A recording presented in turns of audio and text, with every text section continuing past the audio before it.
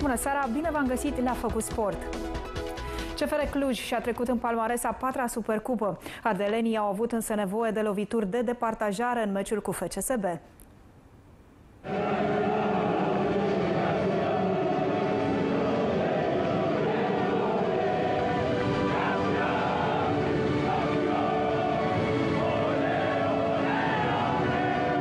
CFR Cluj este super campion a României. Clujenii s-au impus la loviturile de departajare cu FCSB. Toți executanții campionei au marcat, în timp ce tinerii Perianu și Șut s-au pierdut în fața lui Arlauschis și au ratat. Mă bucur să, că suntem câștigători acestei supercupe și e normal să mă bucur de acest trofeu, să facem poze pentru că ne plac trofeele. Pentru că în ultimii, în ultimii ani am câștigat foarte multe trofee. CFR a controlat în permanență partida în timpul regulamentar. Prima ocazie i-a aparținut lui Gâdea, dar Vlad a respins excelent. Apoi Bara i-a salvat pe roș albaștri la lovitura de cap expediată de Debeluch. La pauză, Petre a efectuat toate schimbările, iar FCSB nu a mai contat în atac. În schimb, a fost o avalanșă de ocazii la poarta lui Vlad. Tânărul golkeeper a scos de pe linia porții mingea trimisă de Ben Youssef, apoi a fost luat la țintă de Costache dintr-o poziție perfectă. Ben Youssef și-a încercat norocul și cu o execuție spectaculoasă, fără rezultat însă. Primul șut pe poarta al roș albaștilor a venit abia în minutul 88. Nedel cu s-a lovit de intervenția lui Arlauschis. Apoi Ciobotariu s-a transformat în atacant și după ce a driblat doi jucători a șutat în bară. CFR Cluj a câștigat la loviturile de departajare a patra Supercupa a României din istoria clubului. După câștigarea Supercupei, clujenii încep play-off-ul cu moralul bun. Au un singur punct în spatele liderului FCSB. CFR va juca duminică primul meci din play-off cu Academica Clinceni. De când a promovat în Liga 1 în 2004, CFR Cluj este echipa care a câștigat cele mai multe trofee în România. Cu Supercupa cucerită în fața rivalei FCSB, ardelenii au ajuns la 14 trofee în 17 ani. Trei ani la rând de campionat, vrem, vrem a patru și cine e la CFR știe că aici toată lumea vrea să câștigă trofeul și trebuie să avem acest fome în continuare. Miza meciului i-a copleșit pe cei doi antrenori, Iordănescu și Petre au avut propriul meci.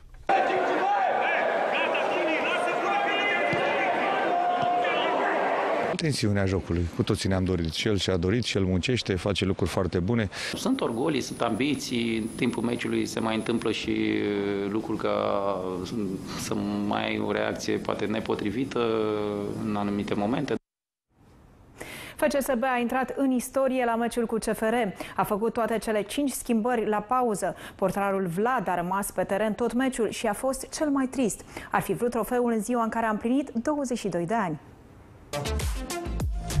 FCSB a câștigat un singur trofeu în ultimii 5 ani, Cupa României de anul trecut.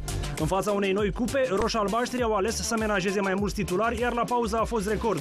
Au făcut toate cele 5 schimbări. Noi am avut și, adică avem probleme cu, cu jucători accidentați de ceva timp, sau mai, au mai apărut și alții. Dar trebuie să gestionăm cât de cât uh, finala asta. Cum ați gândit cele 5 schimbări făcute la pauză? Probabil ați intrat în istorie cu aceste da, 5 schimbări. în istoria modernă și contemporană a fotbalului. Da, așa ne-am gândit, a fost ceva planificat dinainte, am vrut să riscăm alte accidentări cu jucătorii care au evoluat foarte mult sau mai mult decât ceilalți. Trebuie să-i felicităm pe juniorii, pe care, pe juniorii care au intrat astăzi în teren pentru că au, și-au dat viață, au făcut un meci bun, au ținut de minge, au arătat că, că pot face față împotriva unei echipe de play-off. Andrei Vlad a împlinit 22 de ani chiar în ziua meciului. Nu a plecat acasă cu trofeul, ci doar cu titlul de jucătorul finalei. Sunt sigur că, că au vrut să-mi fac acest cadou, dar dacă nu s-a putut, nu avem, nu trebuie să mai dăm timpul înapoi. Start ratat pentru România în weekendul de Cupa Federației de la Cluj. Irina Bara a cedat ușor primul meci pentru a le oferi italiencelor avantajul. Ziua este închisă de Mihaela Buzărnescu în duelul cu Martina Trevisan, care este acum în direct pe Lux Sport Plus. România a debutat cu stângul în confruntarea de Fed Cup cu Italia. Principala rachetă a echipei noastre, în lipsa celor mai bine clasate 5 românce, Irina Bara nu a avut nicio șansă în fața Elisabetei Cocioareto. Românca de pe locul 132 WTA a luat un singur game într-un prim set pierdut în numai 35 de minute. Bara a dat senzația că poate întoarce soarta meciului, a condus cu 3 la 0 în actul secund, însă la fel de repede a și fost egalată. Românca a mai luat apoi un singur game și a cedat meciul cu 1 la 6, 4 la 6. Constantin Budescu și-a încântat din nou suporterii cu cel mai recent videoclip postat pe rețelele de socializare. Mijlocașul lui Damac a demonstrat că mingea îl ascultă în orice situație. Budescu a trimis balonul de două ori direct în portbagajul mașinii sale. Dacă pentru fostul jucător al Astrei aceste execuții sunt la ordinea zilei, Bravo! fiul său a demonstrat Una! că îi moștenește calitățile tatălui. Cel mic l-a imitat aproape la perfecțiune pe Budescu. Din imagini se poate observa că și mijlocașul Locașul de 32 de ani este într-o formă foarte bună și nu mai poate fi acuzat că are kilograme în plus.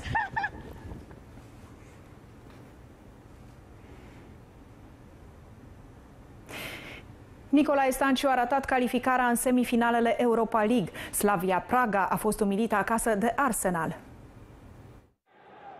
Stanciu și Slavia Praga au părăsit Europa League cu o înfrângere drastică suferită pe propriul teren. După 1-1 pe Emirates, Arsenal a pornit excelent în Cehia și a rezolvat soarta calificării în primele 25 de minute.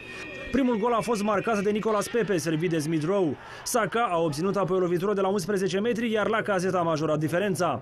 Tunarii au continuat să atace, iar Saka și-a trecut și el numele pe lista marcatorilor.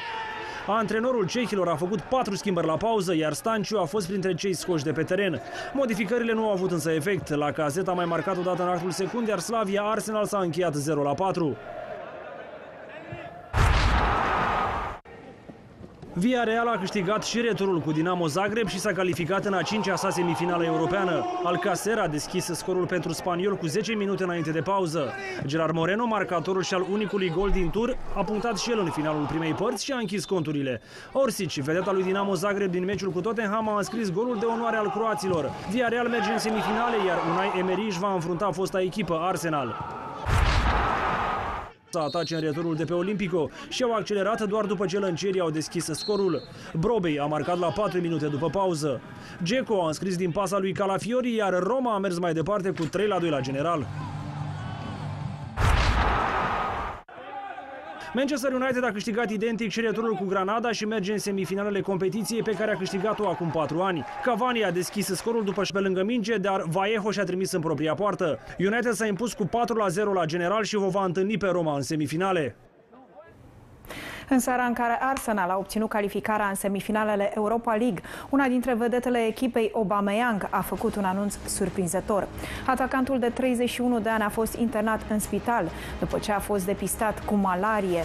Starul londonezilor s-a îmbolnăvit luna trecută după ce a jucat pentru naționala țării sale Gabon în preliminariile Cupei Africii. Aubameyang a anunțat că se simte bine și că va reveni cât mai curând la antrenamentele echipei. Atacantul a evoluat ultima dată pentru Arsenal pe 3 aprilie în campionat și pe 8 aprilie în prima manșă din sferturile Europa League cu Slavia Praga.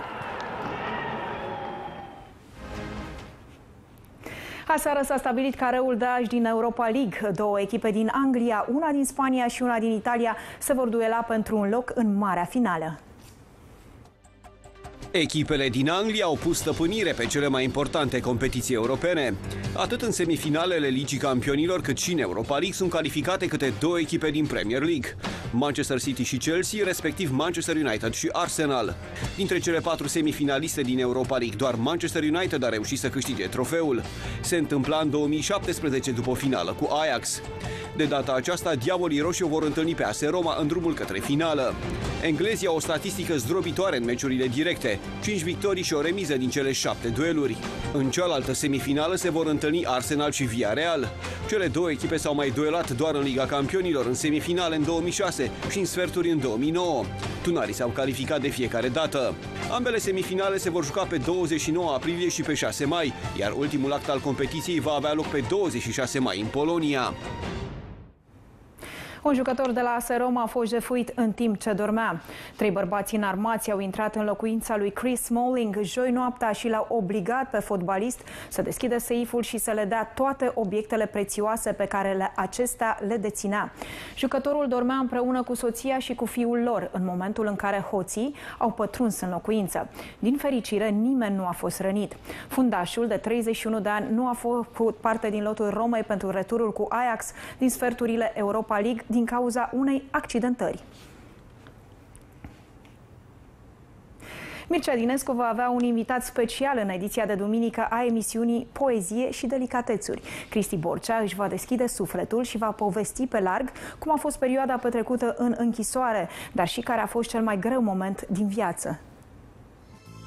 Cristi Borcea a fost unul dintre cei mai importanți oameni din fotbalul românesc până în momentul în care a luat decizia de a se retrage. Marea sa pasiune a fost Dinamo, echipa alături de care și-a petrecut 17 ani din viață. În Ștefan cel Mare a trăit însă și cea mai mare dezamăgire. În 2009, Dinamo a ratat titlul de campioană în favoarea Unirii Urziceni. Am avut problemele și le am și acum cu somnul. N-am... Tu doar puțin foarte puțin și iau... Ei pastile. Dormi, iau pastile. De când am pierdut campionatul la Gurziceni. Atunci te-ai deprimat? Atunci m-au luat uh, Neon Siriac, m-a dus prin uh, Germania, am fost în America, am fost în Și ce, la psihologi, la, am fost la neurologi, la ce? Am fost, mi-au pus pe cap să dorm cu Interviul integral cu Borcea îl puteți urmări duminică de la ora 14 în cadrul emisiunii Poezie și Delicatesuri. Mircea Dinescu a stat de vorbă cu fostul finanțator al lui Dinamo și despre anii petrecuți de acesta în pușcărie, despre pasiunea pentru citit, dar și despre cei nouă copii ai săi.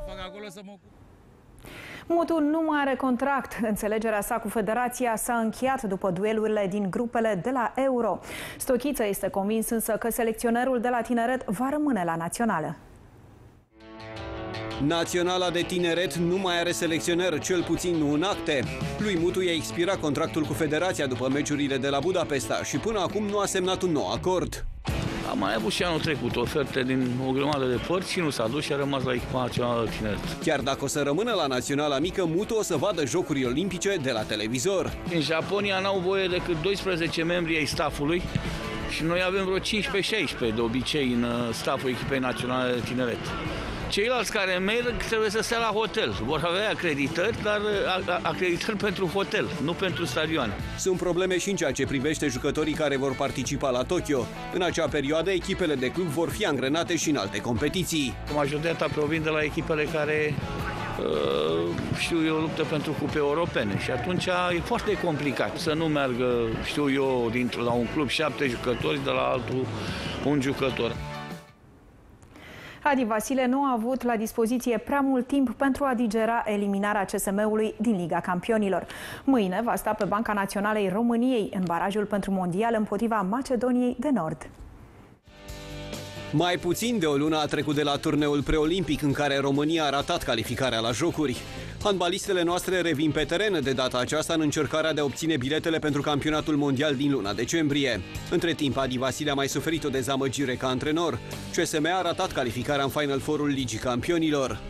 Această calificare la campionatul mondial este foarte importantă, că trebuie să facem absolut tot ce depinde de noi să, să ne calificăm.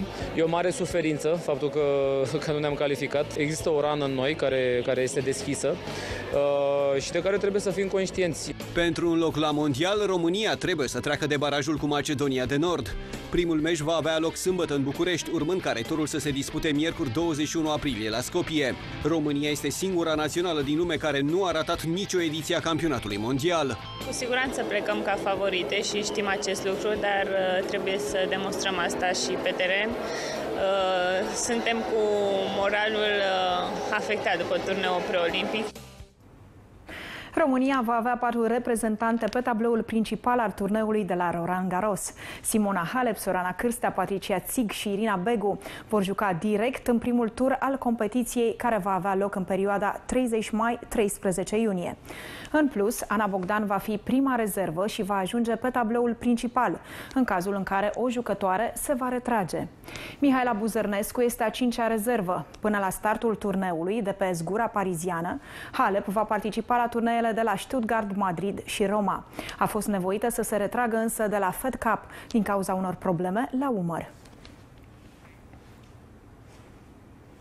V-ați gândit vreodată ce își ia la el un campion mondial înainte de a pleca la o competiție? Ei bine, Marian Drăgulescu și-a făcut bagajul pentru european, de față cu noi. Vedeți imediat ce a ieșit. La 40 de ani, Marian Drăgulescu este pregătit pentru un nou european. Are deja un palmares impresionant la turneele continentale. 18 medalii, dintre care 10 de aur. Drăgulescu a concurat prima dată la un european în 2000. Cea mai dragă este medalia de aur de la Cluj, din 2017 de la campionatul european. 6.000 de români care au fost în sală, făcând imnul alături de mine și am avut o susținere incredibilă. Acesta va fi ultimul campionat european pentru Drăgulescu. Sportivul a anunțat că se va retrage după jocurile din vară. Mă duc acolo să lupt pentru a prinde o finală și pentru a urca pe podium. Noi am fost curioși ce conține bagajul unui campion mondial, iar Marian Drăgulescu a acceptat provocarea. Ne-a arătat în detaliu ce își va lua cu el la europenele de la Basel, care vor avea loc în perioada 21-25 aprilie. Shortul, norocos, sper. Șosetele norocoase. Avem, bineînțeles, un aparat de masaj.